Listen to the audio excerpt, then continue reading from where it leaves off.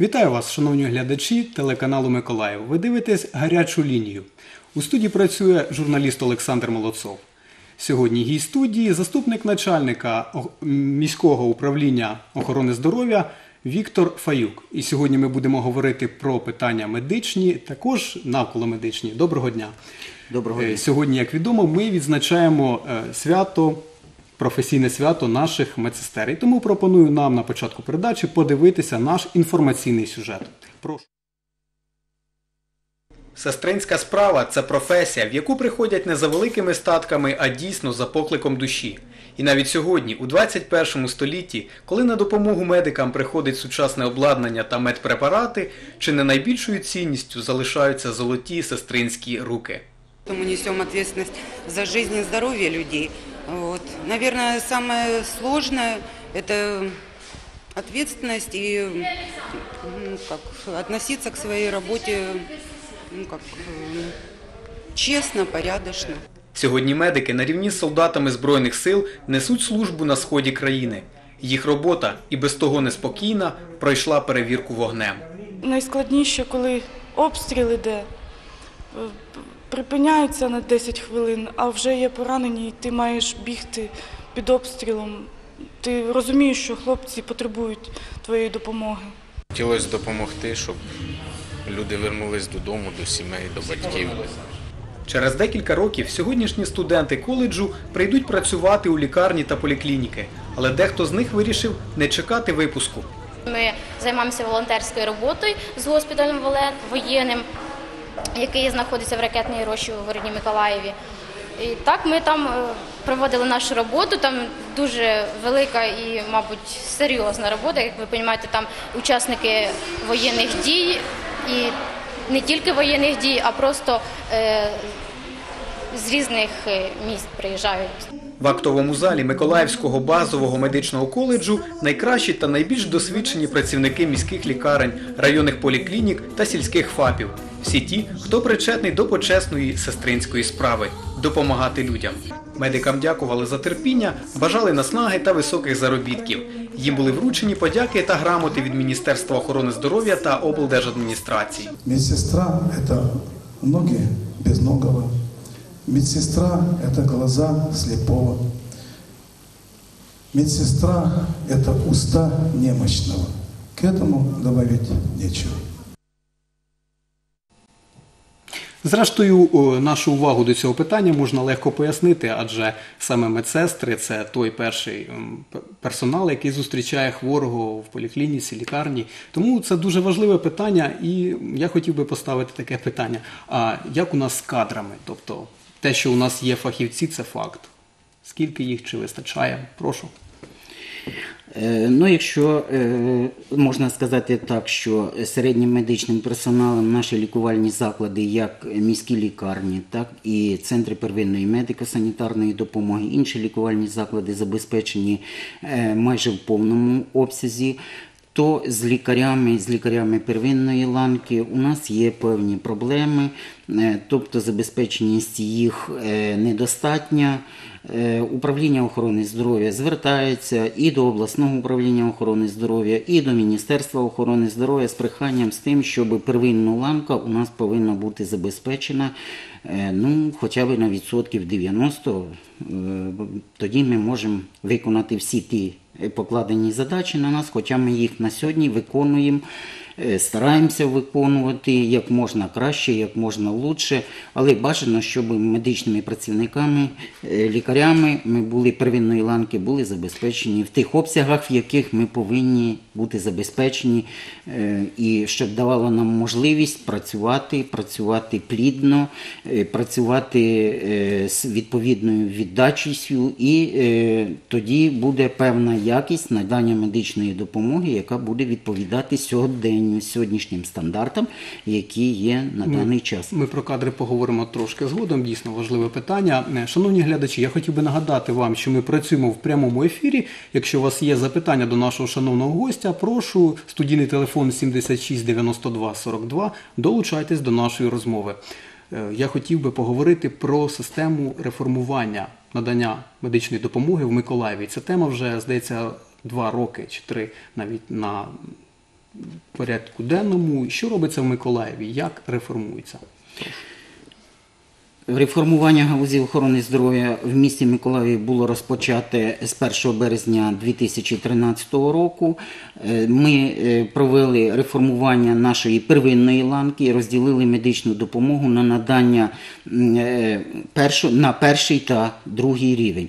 На першому рівні у нас працюють центри первинної медико-санітарної допомоги, їх в місті сім які в своєму складі мають 34 сімейних амбулаторії, де працюють наші лікарі, фахові лікарі, це лікарі е, е, сімейної практики, е, загальної медицини, сімейної практики, е, лікарі, дільничі терапевти, дільничі педіатри. І на другому рівні у нас організовані поліклініки при міських лікарнях, і надається в повному обсязі стаціонарна медична допомога в п'яти наших міських лікарнях. Останнім часом з'явилося таке популярне слово, популярний вираз сімейний лікар. Е, Що вкладається в це поняття? Звідки ми, як ми формуємо цей штат лікарів? Прошу. Ну, е, з початку реформування у нас в місті було підготовлено 139 сімейних лікарів. Більша частина з їх е, перенавчена із е, дільничих терапевтів, із дільничих педіатрів. Це ті фахівці, які раніше працювали в наших міських поліклініках, які виконували певні завдання, але відповідно до реформування деякі їхні функції помінялися. Помінялися в частині того, що раніше у нас було чотири міських дитячих поліклініки. Зараз залишилося їх дві, і вони залишилися із е, вузькими фахівцями. А на первинну ланку у нас зараз залучені педіатри і е, сімейні лікарі. Сімейні лікарі на сьогоднішній день вже розпочали обслуговування дитячого населення. Е, І обслуговування дорослого населення в повному обсязі, так як це відповідає вимогам сьогоднішнього дня. З чим пов'язана от така от, така от е, бажання і потреба в реформуванні медицини? Що було не так і що планується, як, які результати будуть? Тобто, в чому буде покращення, в чому буде е, зручність для населення? От таке питання. Ну, основна із задач, е, яка стояла в період реформування, це як можна ближче наблизити надання медичної допомоги до населення. Тобто, якщо це сімейний лікар, то він повинен обслуговувати е, сім'ю. Через то він називається сімейний лікар. Е, До сім'ї входять як дорослі, так і діти, так і люди пожилого віку. Тобто лікар має повністю всі відомості про всю сім'ю, починаючи з дітей і заканчує пожилими людьми, і має змогу спостерігати їх на протязі дуже довгого часу. Тобто у нього е, появляються можливості аналізувати деякі фактори впливу, е, хворобливість даної сім'ї, якими вони захворюваннями хворіли, для того, щоб в подальшому спрогнозувати і як можна якісніше надати медичну допомогу. Дякую. Ми Сім'ї і е, членам сім'ї, починаючи від Ну, дітей. дійсно, сімейний лікар, так. Сімейний лікар. У нас дзвінок в студію. Доброго вечора. Ви в ефірі. Добрий вечір. Вітаємо. Таке запитання. А чи готовлять е, медичних сестер загальної практики сімейної медицини в місті Миколаєві?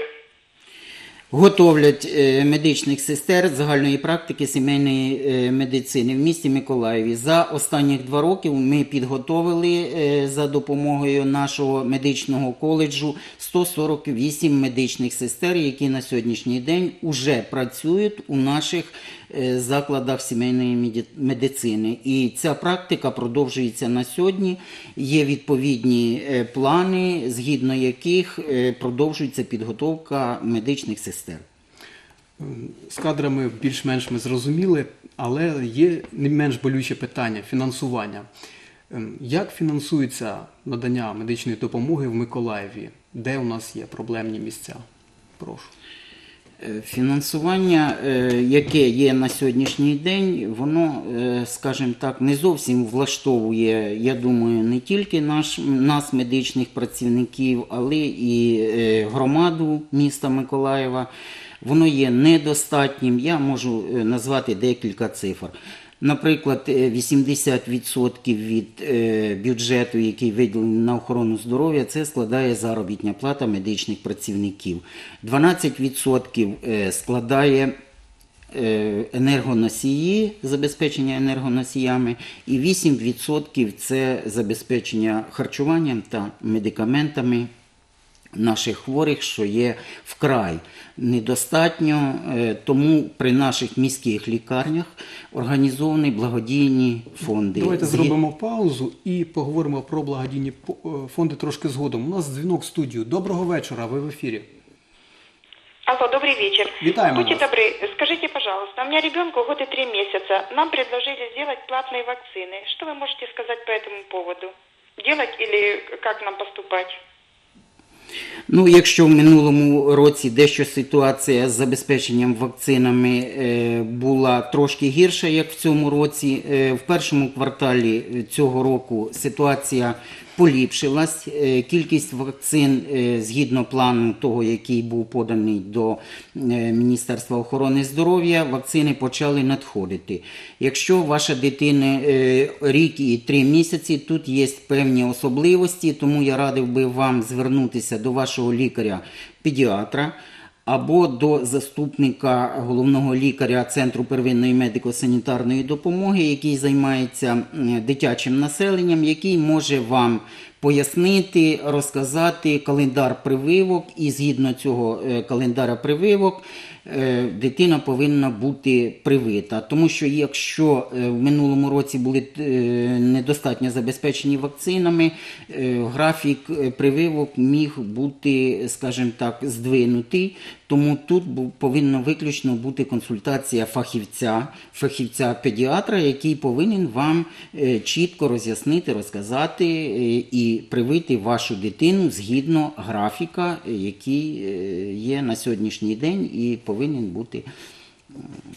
У нас наступний глядач. Доброго вечора, прошу вас. Доброго вечора. Вітаємо. Скажіть, будь ласка, а скільки медичних сестер повинно бути у одного сімейного лікаря? На одну посаду сімейного лікаря повинно бути дві е, медсестри сімейної практики загальної медицини. Це по штатному розпису, який у нас є на Ну, сьогоднішній Це ж знову ж таки кадрове питання. Кадрове Е, питання. Ми продовжимо бесідувати про фінансування медицини і зупинилися ви на функціонуванні благодійних фондах, які є біля при лікарнях. Прошу продовжуйте.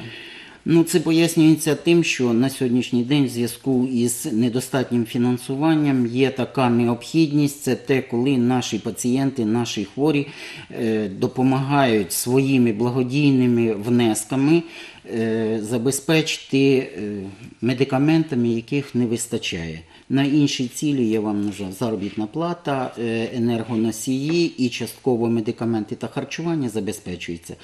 Але е, вони ці фонди е, існують для того, щоб більш повному обсязі були забезпечені. Але хочу зауважити одне: що е, ті кошти, які здаються в благодійні фонди, які є при міських лікарнях, вони абсолютно прозорі.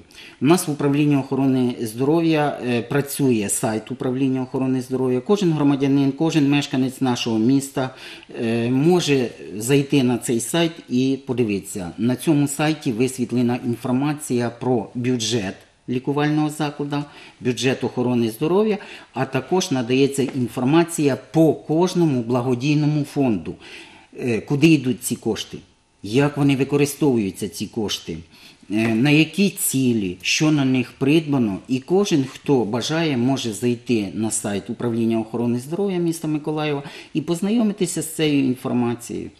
Е, Тобто мова йде про те, що клієнт лікарні, хворий, це може робити внесок е, суто на добровільних е, Е, засадах. Суто на добровільних засадах. Ніхто не може заставляти хворого і пацієнта платити певні кошти.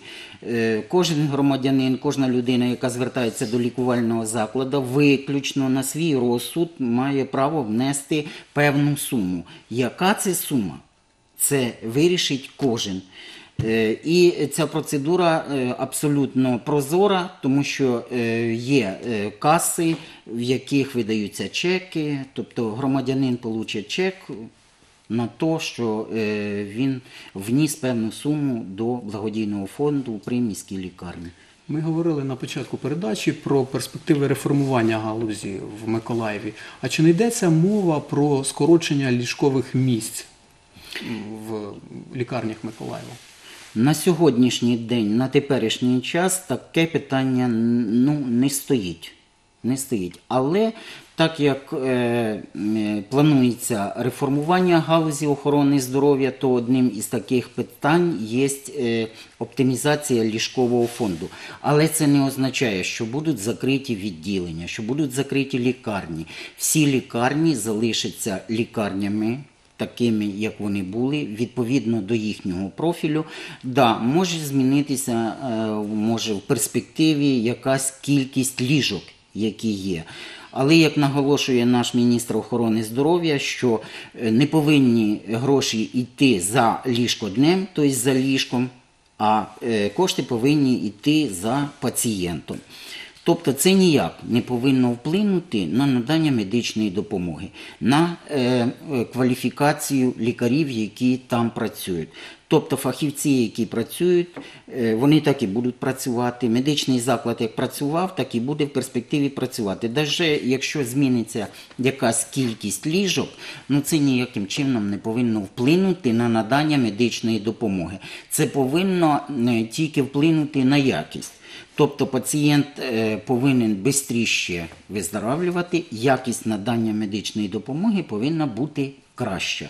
Це е, основна мета, яка поставлена е, для управління охорони здоров'я, е, для наших лікарів, що якість повинна бути краща.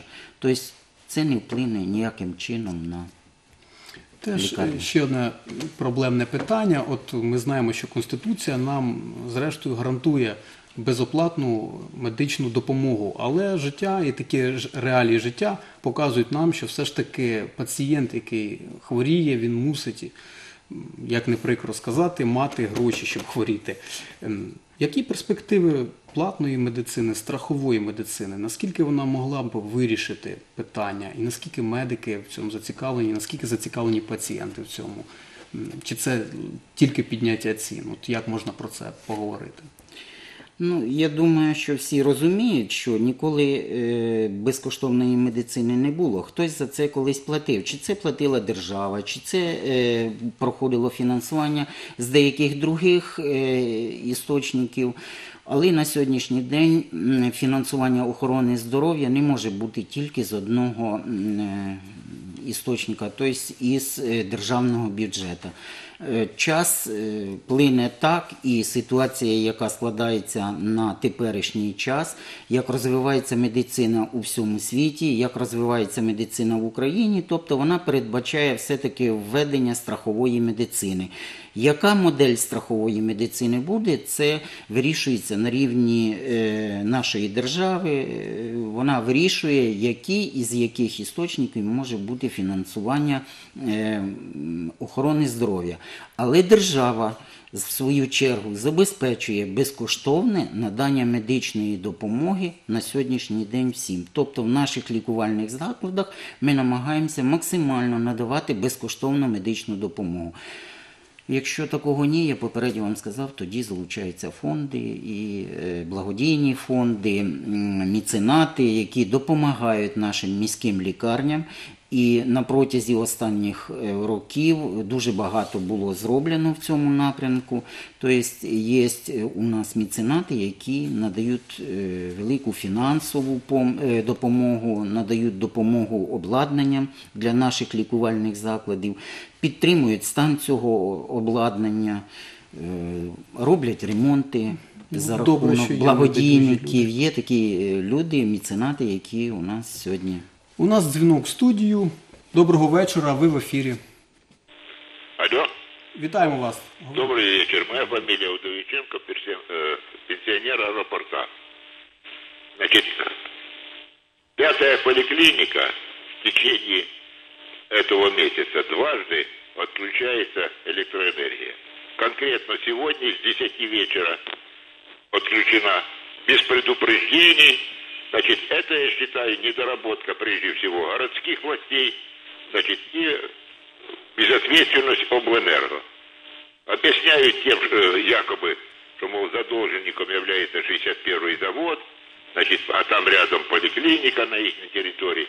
Это в оправдание никому не идет, начиная с горсовета. С горсоветом надо заниматься напрямую, вот тогда будет результат. А то, что касается вот этих призывов, там, взносы и все прочее, значит, это просто позор нашему государству. Ну, те, що є така проблема в, п'ятій, в п'ятому центрі первинної медико-санітарної допомоги, управління охорони здоров'я про це знає. Управління охорони здоров'я і головний лікар звертався до е, влади, до нашої з тим, щоб вирішити це питання. І я думаю, що воно ну, в самий коротший термін буде вирішено, тому що це питання знаходиться у всіх на відповідному контролі. Е, Ну, це, скажімо так, е, временна мера, яка буде, це питання буде вирішено в найкоротший термін. Ем, Є питання таке, давайте повернемося до питання, з якого ми розпочали сьогоднішню бесіду, кадрове питання. А як можна змусити або за- заохотити, або стимулювати молодь ем, йти, обирати для себе професію лікаря, як підняти її соціальний престиж? От я чув сьогодні такі слова зі сцени. От Ну, я яка хоч- ваша думка? Я хотів би сказати, що примусити лікарів і медичних працівників ніколи не можна, тому що це поклик душі. обмовився. Це, да, Е, це е, та категорія людей, яка працює, дійсно працює на благо своїх пацієнтів, яка віддає часточку свого життя, часточку своєї роботи. Дуже часто наші працівники, як лікарі, так і медсестри, е, проводять дуже багато часу свого особистого часу біля ліжка своїх пацієнтів, вихожуємо їх.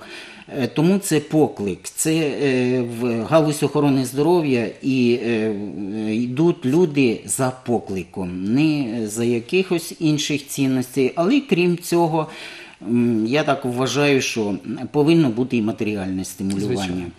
М, Тому, якщо на рівні держави будуть вирішені ці питання щодо матеріального стимулювання, про що на сьогоднішній день і йде мова на самому високому рівні, і президент Порошенко неодноразово говорив про це, і міністр охорони здоров'я, е, скажімо так, дуже часто зупиняється на цьому питанні, що заробітна платня е, медичних працівників повинна відповідати сьогоденню. Тобто медичні працівники теж не повинні, е, скажімо, страдати, але тим не менше ці люди йдуть за своїм покликом, вони працюють, вони будуть працювати, вони завжди виконували е, свої обов'язки сумлінно.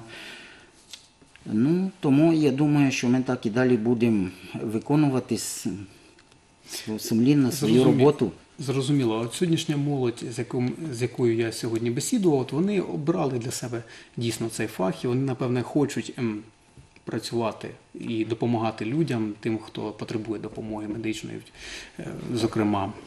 Де вони можуть влаштуватися? Яка зараз е, ситуація з вакантними місцями в, лік... в лікарських засобах Закладах, закладах наших області? Ну, е, якщо я вже повторюсь, е, сказав, що середніми працівниками ми забезпечені майже на 90%. Лікарями, які працюють на другому рівні, це поліклініки та стаціонари. Також забезпечені майже повністю за е, деяким тільки виключенням, не деяких е, фахівців не вистачає. То первинна ланка це е, той момент, де ми, звісно, дуже для нас сьогодні важливо, щоб забезпечити на теперішній час сімейними лікарями. Сімейними лікарями, сімейними медичними сестрами. Зрозуміло, на жаль, час нашої передачі вичерпано. Ми мусимо ставити крапку. Шановні глядачі телеканалу Миколаїв, ви дивилися гарячу лінію. З вами був журналіст Олександр Молодцов. На наші питання відповідав заступник начальника управління охорони здоров'я Миколаївської міської ради Віктор Володимирович Фаюк. Ми дякуємо вам за увагу. До зустрічі в ефірі.